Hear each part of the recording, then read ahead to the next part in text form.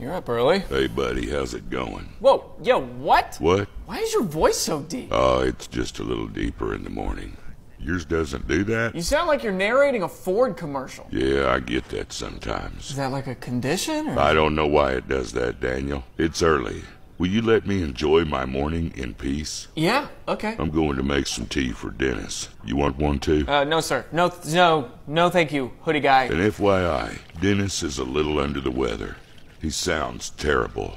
Try not to draw attention to it. I think he's self-conscious. Do you mean self-conscious? Morning. Okay, what is going on?